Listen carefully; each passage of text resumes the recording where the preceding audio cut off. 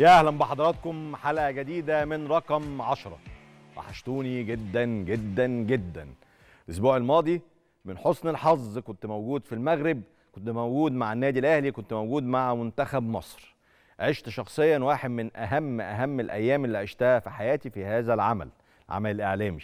شاهدت عن قرب كيف نجح النادي الأهلي وكيف نجح منتخب مصر كيف نجح النادي الأهلي في الفوز بدوري أبطال أفريقيا وكيف نجح منتخبنا الوطني في حسم تأهله لكأس الأمم الأفريقية. أيام عظيمة وأيام رائعة. عشان كده قلت النهارده بعد انتهاء هذه الأجازة أجازة العمل لما كنا في المغرب حبيت أقول لكم كثير من الكواليس كثير من الأسرار والأهم كثير من المشاهدات الحية لناس بتشتغل بضمير لناس عملت مجهود عظيم سواء في النادي الأهلي ممثل مصر الكبير العظيم اللي بيشرفنا دايما في البطولات الأفريقية وأيضا بالنسبة لمنتخبنا الوطني المنتخب المصري الأول.